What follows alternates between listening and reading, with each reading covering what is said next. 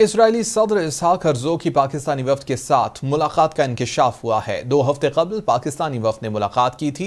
Israeli सदर की जानब से तस्दीक की गई। दो वफूद से मुलाकात की। अमरीका में मकीम दो पाकिस्तानी भी शामिल थे। इसराइली सदर की जानब से कहा गया, पाकिस्तानी वफद से मुलाकात बेहद खुशाइंद रही।